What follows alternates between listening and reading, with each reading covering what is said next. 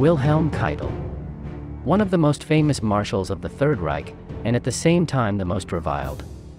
He was nicknamed as Lakaitel by his companions, which means lackey in German, or as der General Jawohl, which means, the general. Yes sir.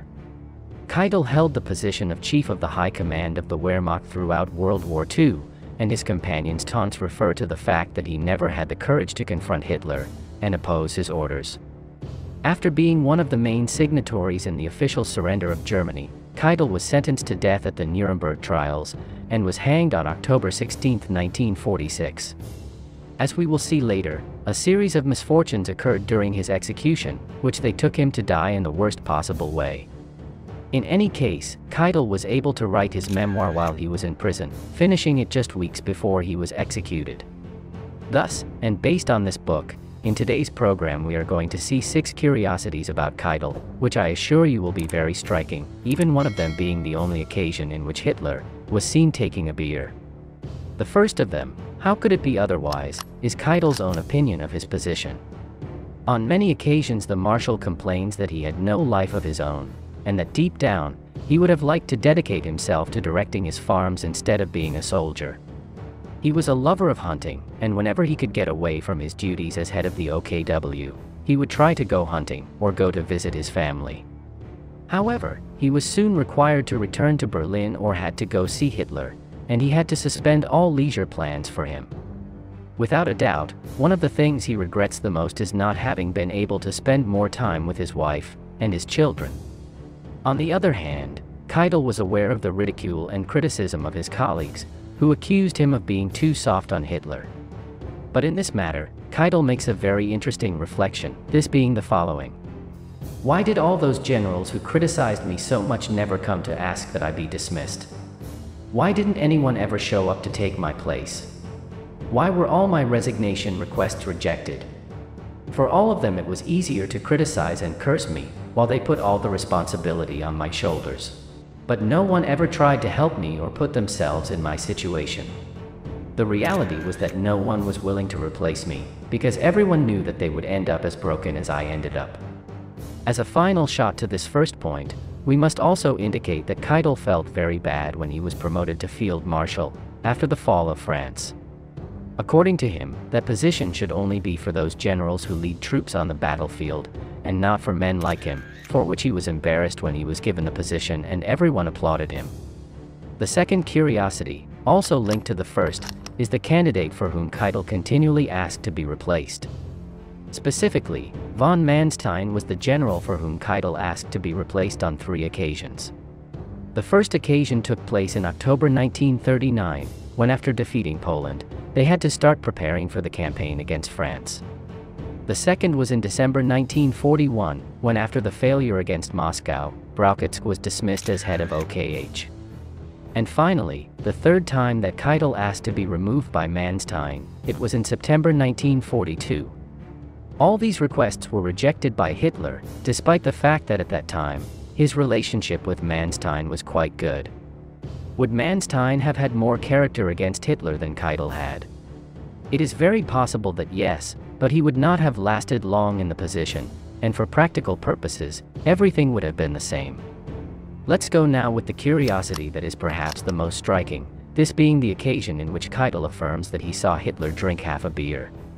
It all happened after the annexation of Czechoslovakia in March 1939.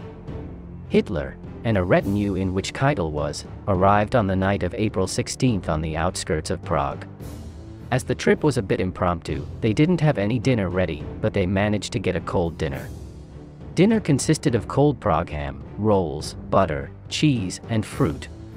And it was here when, to everyone's surprise, Keitel says that he saw Hitler drink half a glass of Pilsner beer with them, as a celebration for the success of the operation. Keitel said that dinner along with the beer, he tasted wonderful to them. During the next six years in which both men practically did not separate, he did not see Hitler again, drinking something that had alcohol. The fourth curiosity takes us to the first opinion that Keitel had about Hitler, when he found out that in 1933, he had been elected chancellor. It should be noted that at that time, they had not yet met in person, nor had they dealt directly. His first words when someone asked him for his opinion were the following. He looks like a drummer to me. He is someone who has found success among simple people solely through the power of his oratory. It seems to me very unlikely that he is ready to be Chancellor of Germany. Later, when he was able to meet him, his opinion changed a lot and he came to value very positively the persuasive capacity of the German leader and his political and leadership skills. Let's go now with the fifth curiosity, this being the way in which he died.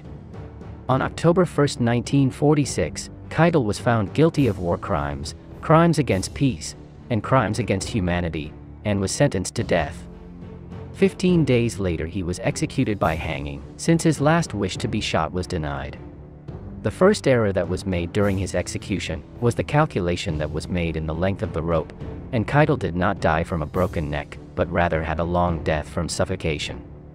But if this mistake wasn't enough, the trapdoor he had to fall through was too small and this caused Keitel to hit his head when he went through it. This caused a gap in his head from which abundant blood came out, while the marshal was suffocating. To summarize, he had the worst possible death that someone can have when it comes to being hanged. The book with his memoirs would be published a year after his death, after being arranged and corrected by the publishers, because due to lack of time, Keitel left a manuscript with numerous errors.